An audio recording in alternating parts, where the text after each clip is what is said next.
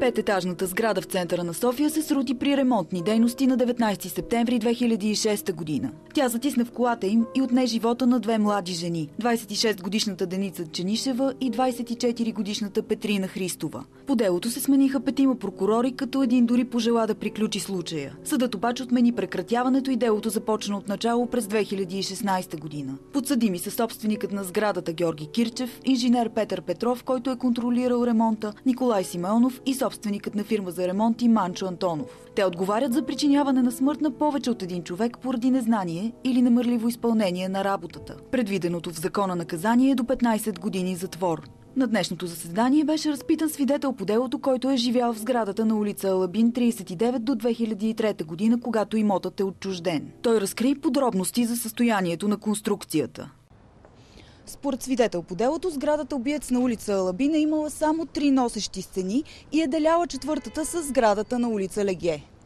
Първата грешка, която вече най-новите собственици направиха, че махнаха тази железна колона, която беше между партера и първия етаж. Те я махнаха. Тя беше носеща.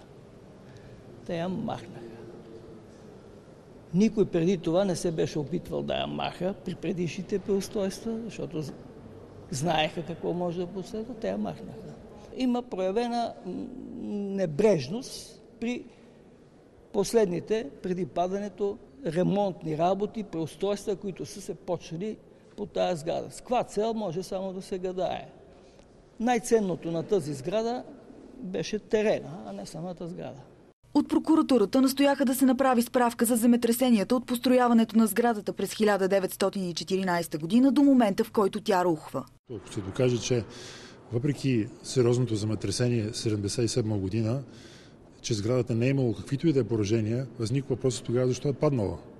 И дали съществено значение за нейното рухване не са изиграли строително-ремонтните дейности, които е извършвал обвиняемия Кирчев и свързаните с него лица. Делото за сградата убиец на улица Алабин продължава на 17 март с разпит на свидетели.